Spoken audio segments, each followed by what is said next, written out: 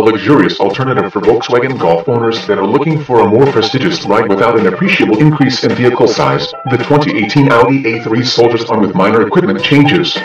The 2018 Audi A3 scores a solid 7.3 out of 10, thanks to a class-leading feature set and an impressive focus on safety. Audi introduced the revised A3 line three years ago, offering owners the choice of three trim levels, Premium, Premium Plus, and Prestige, in either a four-door sedan, a two-door soft-top convertible, or a plug-in hybrid hatchback.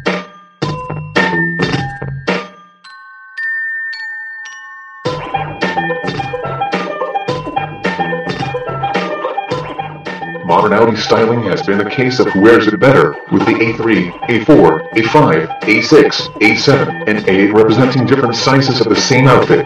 In our opinion, the tiny A3's proportions, the short, cute rear deck, compact cabin, and short wheelbase complement Audi's clean, conservative overall design language. This is a clean, attractive car that's much more conservative than a Mercedes-Benz CLA class, but no less attractive from the right angle. Audi made its popular 2.0-liter turbocharged inline four the A3's standard engine last year, although there are still two distinct power levels.